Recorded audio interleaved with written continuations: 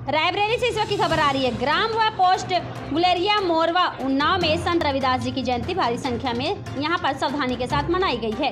सभी नगरवासियों और समस्तवासियों ने संत रविदास जी के चरणों में पुष्प एवं फूल माला चढ़ाकर उनका वह स्वागत किया है, जहाँ पर अपनी अपनी मनोकामनाएँ भी पूर्ण होने की भी भीख मांगी है। टाइम डे की न्यूज़ शनि के लिए आप देख सकते हैं रायबरेली से राम बाबू कुशवाहा की खास रिपोर्ट। उद्देश्य ये है कि जो हमारे यहाँ महान संत हमारे समाज से उठे हैं मैंने हम लोगों को उठाया सोते जगाया है। भैया। वो उसको निरंतर आगे बढ़ाने का हमारा समाज जो पिछड़ा जा रहा है उसको आगे बढ़ाने का उद्देश्य है कि सबको उसी आदर्श पर उन्हीं महात्माओं के आदर्श पर चलने के लिए हम प्रेरित कर रहे हैं। धन्यवाद और इस समय हमारे बहुत समर्थक पीछे खड़े हुए हैं हम बातचीत करेंगे कि ये आप हम थे कितना पालन करते हैं।